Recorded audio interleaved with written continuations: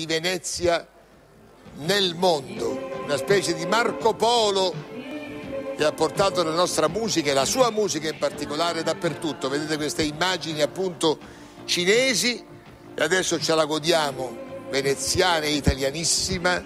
Patti Bravo!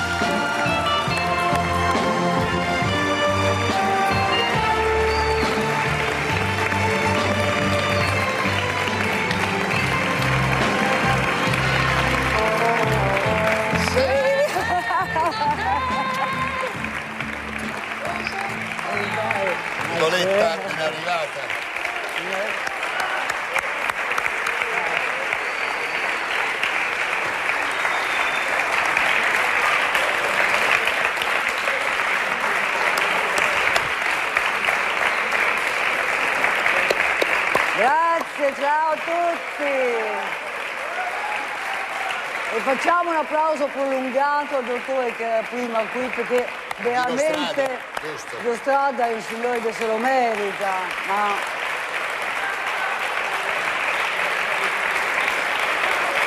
Guardate, io, io conosco Patti Bravo da molti anni e Qualcuno. mi ricordo anche gli inizi della sua carriera.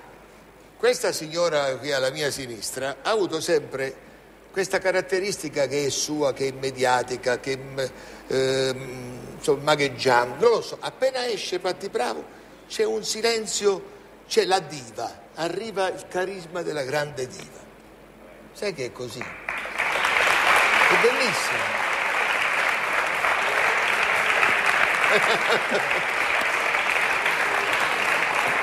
Senti Nicoletta, tu sei sempre stata inquieta, sempre in fuga, sempre in giro per il mondo? Ti è sempre scusa, piaciuto? scusami, io adoro molto le rose, però non so come te. No, guarda, questa rosa per non rovinare te la tengo io. Ho te attaccato tengo il mio chewing gum, attento. Che cosa? Il mio chewing gum, se no ah, c'è sai il chewing che... attaccato alla rosa. Sì, vale molto di più.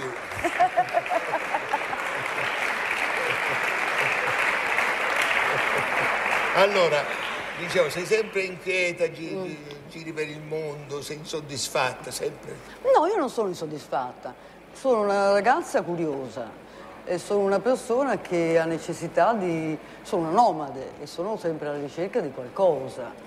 Se avessi dovuto fare la bambola per tutta la vita oppure un po' per tutta la vita, per esempio artisticamente, mi sarei fatta molto male perché avrei dovuto cercare qualcos'altro. Certo, sarebbe stata una probabilmente- noia pazzesca forse. Questo sicuramente.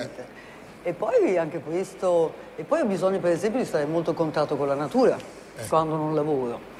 E forse di sentire, di mettermi in sfida con me stessa per sentire che sono una ragazza forte, e, insomma nonna, mamma e papà mi hanno fatto bene, io...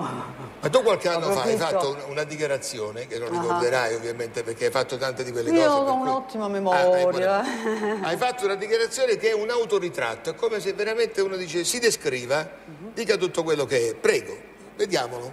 Sono arrivata a Roma da Milano con degli amici. La sera siamo andati a ballare. Poi Crocetta è il padrone di quattro Piper Club, di una casa discografica, di negozi di vestiti beat per ragazze e bambini. Vi ha lanciato lui. Io mi chiamo Nicoletta Strambelli. Mi ha chiamato Pati Pravo, un nome veloce come la vita di giovane, dice. Somiglia un po' depravato, un po' provos. Il nostro è stato un incontro di due matti. Appena mi conosce la gente mi trova antipatica. Non mi interessa, non voglio fare niente per essere diversa o rendermi simpatica. Io sono come sono e come vi va di essere. Lo so che ho dei difetti, per esempio dovrei avere le gambe e le mani più lunghe, la faccia più magra, ma in sostanza mi accetto, mi piace, sono abbastanza narcisista. Solo mi sento triste e anche stupida. Ho sempre vissuto a Venezia con i nonni, con i miei genitori ho rapporti telefonici. Amiche niente. Bene, te la ricordavi? Sì, sì, e continuavo, e continuavo con la mia vocina tutta un po' così, no? Un po' E cosa, nasale. cosa continuavi dicendo che cosa? Dicevo che ero un po' orso, Ah, sì, cosa che è rimasta alla fin fine. Io amo molto stare insieme con le persone, eccetera, però ogni tanto Ti devo, devo sì, stare nella mia tana oppure stare del tuo tenda. carattere giovanile cosa ti è rimasto? Cosa hai perso? Vorrei dire delle cose che ti piacciono tanto, Pippa. No, devo dire, forse non sono diventata più saggia, eh, sono diventata forse più bambina. Eh. Ah, nel senso più bello della parola, ciò che dovremmo essere tutti, conservare tutti Più dentro. fertile, più- Certamente.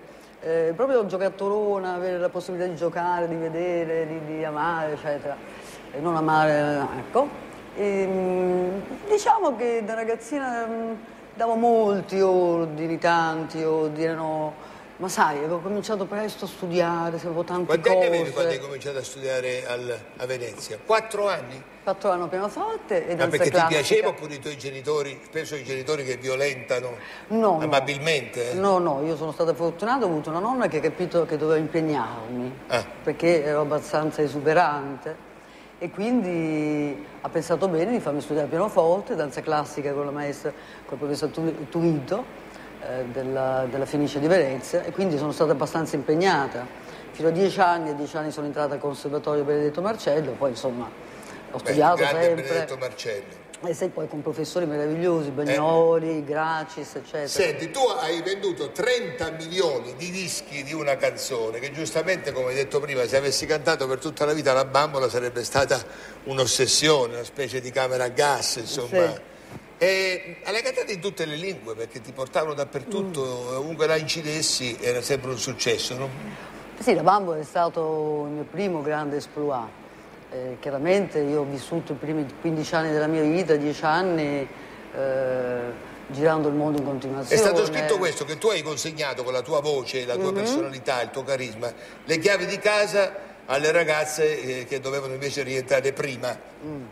Beh, ho cominciato a lavorare a 15 anni, allora non era molto E facile, hai fatto eccetera. crescere. Sì, poi questa è una cosa carina che ha detto Loredana per te, credo anche. Sì. Vabbè, e allora sentiamoci questa bambola in spagnolo. In spagnolo? Eh, noi siamo originali. Wow! Para ti yo soy, para ti yo soy solamente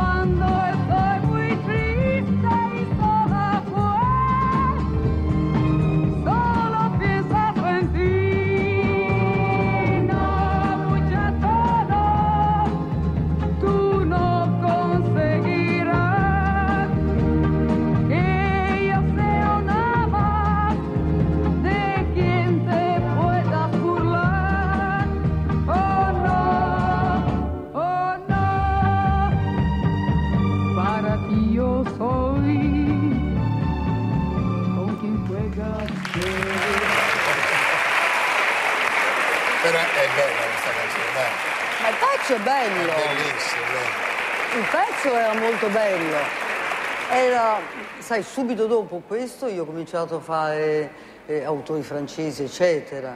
Per cui, sai, fare del poppino. Certo. E, e a me gli americani volevano che mi Ma fermassi quando eri tu a Venezia, Mhm. eh, adolescente, hai avuto delle frequentazioni eh, eccezionali. Erza Pound, l'hai conosciuto? Sì, certo. Hai conosciuto Cesco Baseggio, grande attore, eh, goldoniano, poi Peggy Guggenheim, che è quella che poi ha i fatto i, i compiti musei di lei, cioè. eh, Guggenheim nel mondo, e hai conosciuto Giovanni XXIII, Angelo Roncalli. Eh sì, era Cardinale Venezia. Ecco, sì, lo so che era archi- lì, ma come l'hai conosciuto? Eh, l'ho conosciuto perché nonna parlava in veneziano, si, si- si riunivano a casa con Cesco Baseggio, eccetera. E il cardinale Roncalli, eh, a lui piaceva molto sentir parlare il vero veneziano e quindi Sì, si riunivano. Io arrivavo a casa, certo, io arrivavo a casa e mi trovavo con i vecchietti. Salve, dovevo fare l'inchino piccolo, poi magari suonare qualcosina. E... Non ti ha mai detto lui che poi è diventato santo, lei diventerà una peccatrice, non te l'ha detto? Ma sai, nella vita si passa sempre un po' di peccato, altrimenti non saremmo qui tutti quanti. Va bene, giusto, hai ragione. Dunque, Anna, prima mi dicevi una cosa molto interessante, cioè che a un certo momento dopo la bambola ti è piaciuto un repertorio diverso, hai studiato la musica francese, Leo Ferré, Jacques Brel, insomma questi grandi Certo. della musica francese e hai fatto, non so se voi ve la ricordate, una canzone bellissima, Ne me quitte pas, Ah.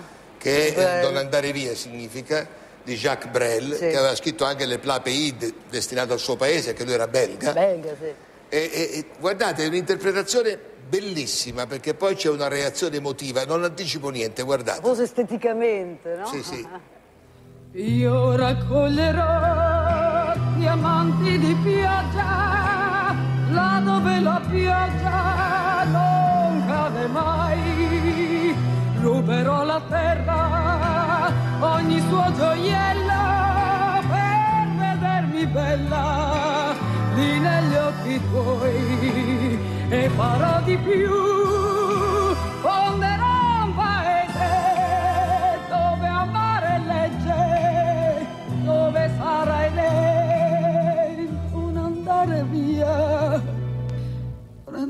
via, non andare via.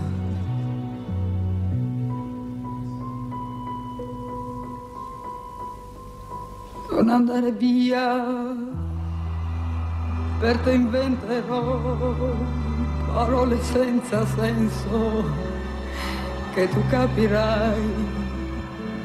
E ti parlerò dei due amanti che sono bruciati insieme per due volte già.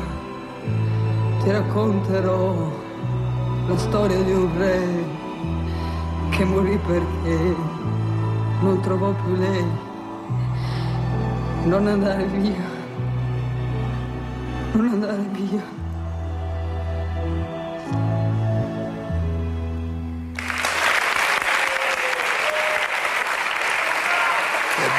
canzone,